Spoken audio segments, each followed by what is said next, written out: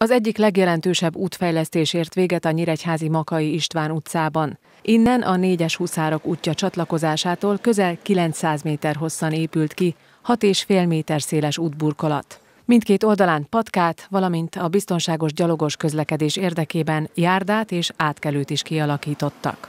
Közvilágítás sem volt eddig, most több mint 500 méteres szakaszon működik az új hálózat, a felszíni vizek elvezetését pedig zárt csapadékvízelvezetők biztosítják. Az erről tartott tájékoztatón elhangzott, ezzel a fejlesztéssel lezárult az az 5 milliárd forintos állami támogatásból indult program, amelyet 2019-től több szakaszban végeztetett el az önkormányzat. Egyedül Nyíregyháza részesült ilyen nagy összegű kormányzati támogatásban, Másrészt csak ebben az évben 20 földútból csináltunk aszfaltutat, aszfaltoztunk le, az elmúlt évben 18-at, tehát ez egy nagyon nagy szám, és emellett 5 út teljes felújítása is megvalósult, ugye a Hunyadi, a Luther, a Debreceni, a Kollégium és a Derkovics, és hát ez egy nagyon nagy jelentőségű fejlesztési program volt, nagyon örülök neki, köszönet a kormánynak,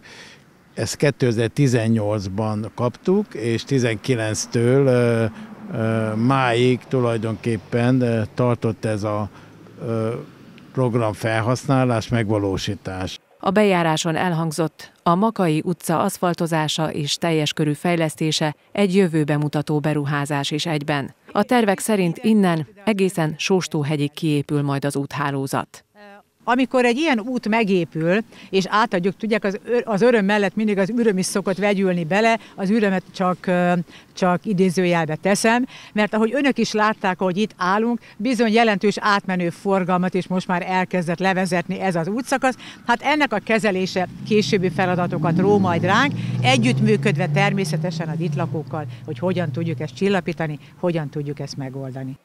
Az is elhangzott, az 5 milliárdos kormányzati támogatás mellett uniós forrásból is elkezdődtek útfejlesztési beruházások Nyíregyházán. A Szarvas, a Szent István és a Széchenyi utcák már megújultak, a Rozsrétszőlő és az Ipari Park közötti szakasz a napokban fejeződik be, a szélsőbokori utat pedig 2023-ban adják majd át. Az önkormányzat saját erőből is fordította közutak fejlesztésére, többek között az Oláréti utat, valamint a belvárosi Hunyaditól az István utcáig tartó szakaszt újította fel.